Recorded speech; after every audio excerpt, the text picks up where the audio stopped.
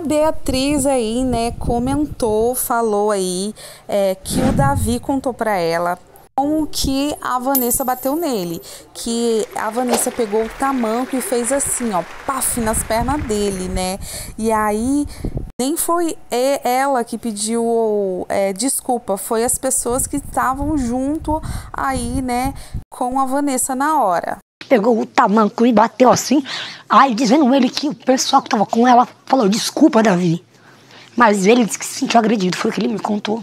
E a Bia contando, né, a, o Alegrete, é, eu não tava lá, né, e a Lani, é, eu não tava lá também, né, mas se a produção aí analisou as imagens, porque ela mereceu ser expulsa.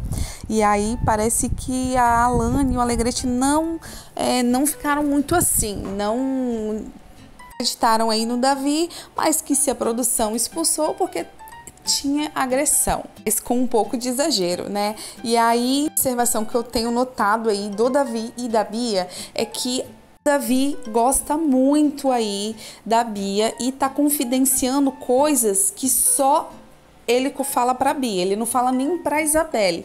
Então, já duas coisas que ele falou para Bia, que a Bia aí, boca de sacola, soltou para Isabelle, soltou aí para para Alane, soltou para outras pessoas que não era para ter soltado. Tipo, o Big Fone, que era trote, ele tinha falado só pra Bia da primeira vez.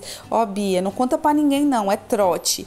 E aí ele pegou, ela contou pra Isabelle, ó, oh, Isabelle, não fala pro Davi mas era trote, o Davi que não quis te contar. Agora a mesma coisa, ele pegou, não queria contar para ninguém, mas abriu o coração para Bia, falando: "Ó, oh, Bia". Assim, ela pegou o tamanco e paf em mim. Ela nem me pediu desculpa. Quem pediu desculpa aí foi a pessoal que estava com ela. A Bia foi e contou para Alane e para o Matheus.